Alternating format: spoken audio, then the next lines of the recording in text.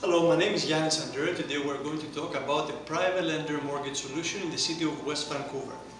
The mortgage amount is 780,000, the interest rate 3.84%, the monthly payment $3,638.75.